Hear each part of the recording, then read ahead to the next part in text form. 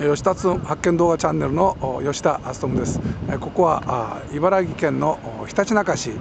勝田駅からすぐのところです。大きな日立の工場がありますがこの中にルネサスエレクトロニクス世界のマイコンの製造製造工場でありますこの日立のこの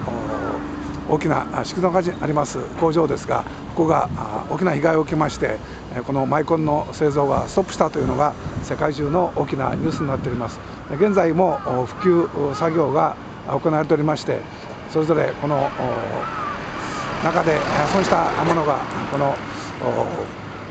大きな布袋に詰められて排出の準備がされております。まだ今いろんな工事の人たちが中でもヘルメットをかぶった工事の皆さん方が息をしていますがここに大きな工場があります。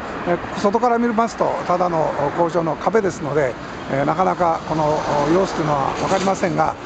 今日もここで数千人の人たちが復旧のためにこの仕事をしているという状況があります。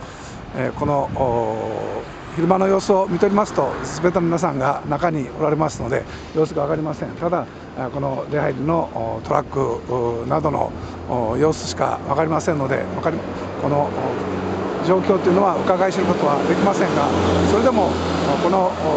工場がストップしてためにこの全世界の自動車産業に影響される。特に日本の自動車産業に大きな影響が出ているというのがこれからの大きな課題になってくるわけであります。一刻も早い復旧というのがこの願われてまして今の状況になっております。